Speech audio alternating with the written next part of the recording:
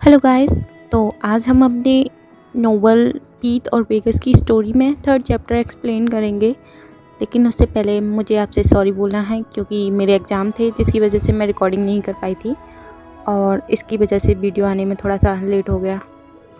तो last chapter में हमने देखा था किस तरह से बेगस पीत का रेप करता है और उसे परेशान करता है। तो हम अपना चैप्टर स्टार्ट करते हैं। सुबह मॉर्निंग में जब पीत को होश आता है तो वो अपनी बॉडी में पेन फील करता है और उसकी लोअर बॉडी बहुत ही ज़्यादा दर्द कर रही होती है और उसकी पूरी बॉडी पर निशान बने हुए थे जो कि इक्कीस के थे। जैसे ही वो अपनी आँखें खोलने की कोशिश करता है, उसे सब कुछ धुंधला दिखाई देता है। मानो उसने कोई बुरा सपना देखा। जैसे ही वो पूरी तरह से होश में आता है, उसे रात की सारी बातें याद आने लगती हैं। और वो घबरा जाता है और बोलता है, नहीं, ये सच नहीं हो सकता। नहीं, ये सच नहीं होना चाहिए। मैं आशा करता हूँ ये सिर्फ़ एक सपना हो। उसकी आँखों के सामने वो सारी चीज़ें आने लगती हैं, किस तरह से वो दरवाज़ा तोड़कर घर के अंदर आता है और किस तरह से पकड़ा जाता है। जितना वो उन बातों को सोच रहा था, वो उतना ही ज़्यादा परेशान हो रहा था और उसे उतना ही ज़्यादा गुस्सा आ रहा था।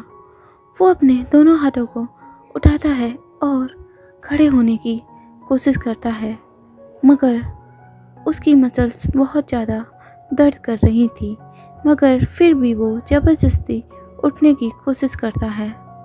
मगर उसकी बाजू बहुत बुरी तरह से हर्ट हुई थी। उसका दर्द बर्दाश्त करने लायक नहीं था। तभी पास से आवाज़ आती है, तुम उठ गए। और पीत जल्दी से पीछे की ओर खिसक जाता है, बिना सामने की ओर देखे। और बोलता है, बेगस, मुझे जाने दो। जैसे ही वो ऐसा बोलता है, उसे पता चलता है कि उसकी आवाज़ बहुत ही भारी हो गई थी और उसका गला भी सूख रहा था। वेगस बोलता है, ओह, तुम उठ गए। ठीक है अच्छा ही है।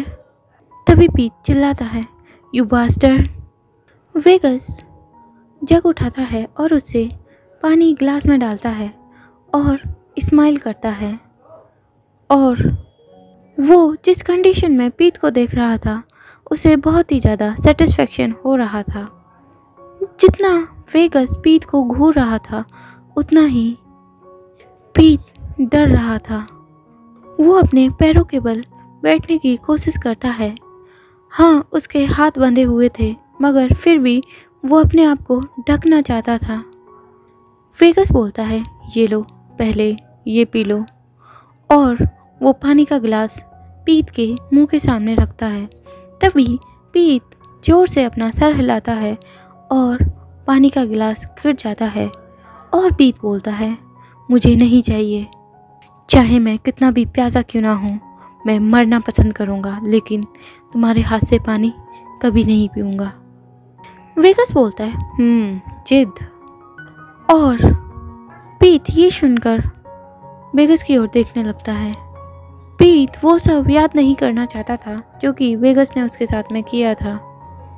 वेगस चिल्लाते हुए बोलता है इसे पियो और वो ज़बरदस्ती पीत का फेस आगे करता है और उसको पकड़कर गिलास से पानी पिलाने लगता है। मगर पीत बहुत कोशिश करता है और वो पानी नहीं पीता। तभी बेगस गुस्से में आके वो पानी का गिलास उसके मुँह में डाल देता है और उसको फोर्स करता है पानी पीने के लिए। पीत खांसने लगता है क्योंकि पानी उसके नाक और मुँह में और आँखों में चला गया था।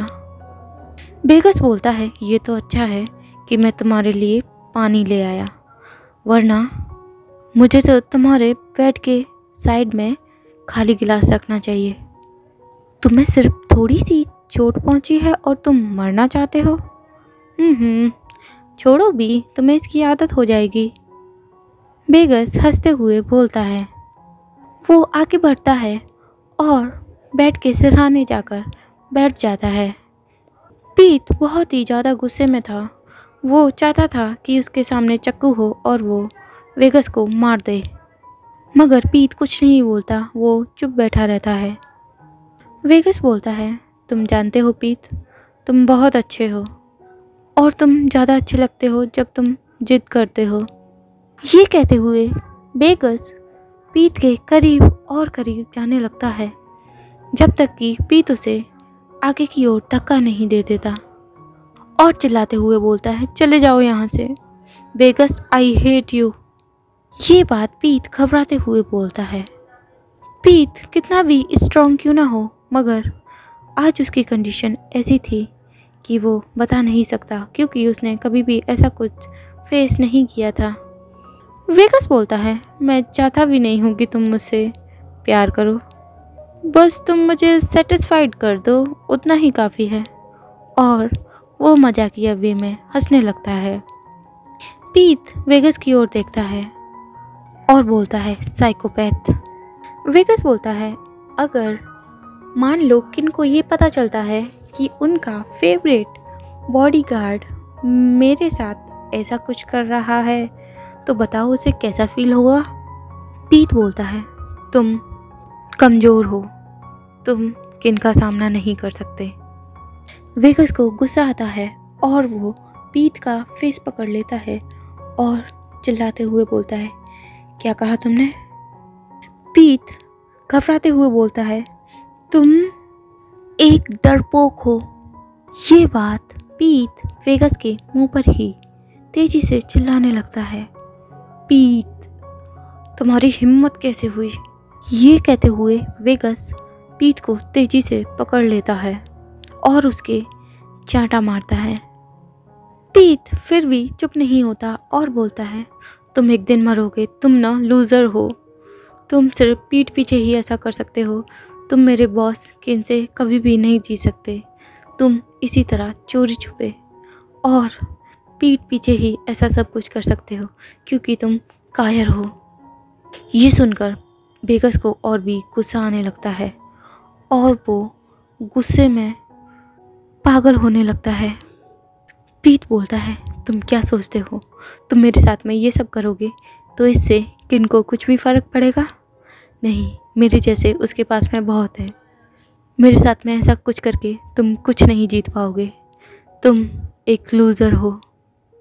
तेज़ी से आवाज़ होती है और बेगस बहुत तेज पीत के फेस पर चांटा मारता है, जिससे कि पीत बेड पर ही गिर जाता है और पीत के मुँह से खून निकलने लगता है। बेगस बोलता है, तुम्हारी हिम्मत कैसे हुई? तुम सच में मारना चाहते हो? और बेगस पीत के बालों को खींचता है और उसके सर को ज़ोर से बेड में मारता है।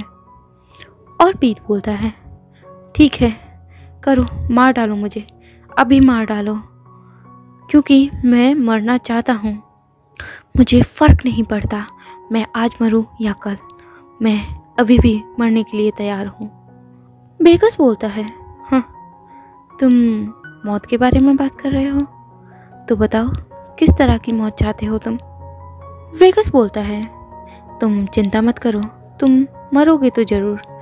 लेकिन पहले मैं तुम्हें एहसास दिलाऊँगा कि पेनफुल डेथ होती क्या है और वो उसके बालों को तेज़ी से खींचता है और पीत घबरा जाता है और बोलता है, तुम तुम ये क्या करने जा रहे हो?